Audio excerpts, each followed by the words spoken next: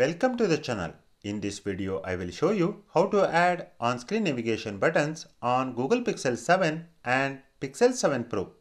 As you know, out of the box Pixel 7 comes with gesture-based navigation. For instance, if you are in an application and want to go back, you must swipe from the side. If you wish to return home screen, swipe from bottom. Then, if you wish to bring recently opened apps, swipe up, hold.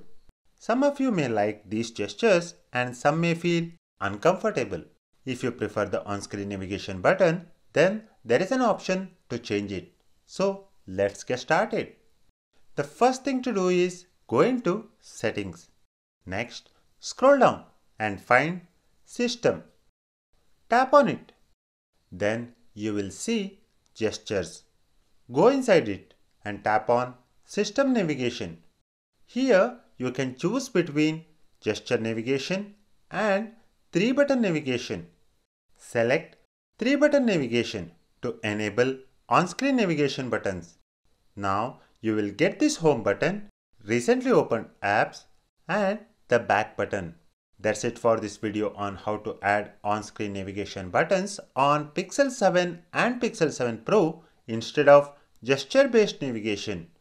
Thank you for watching this video. For more tips and tricks videos, please subscribe to the channel.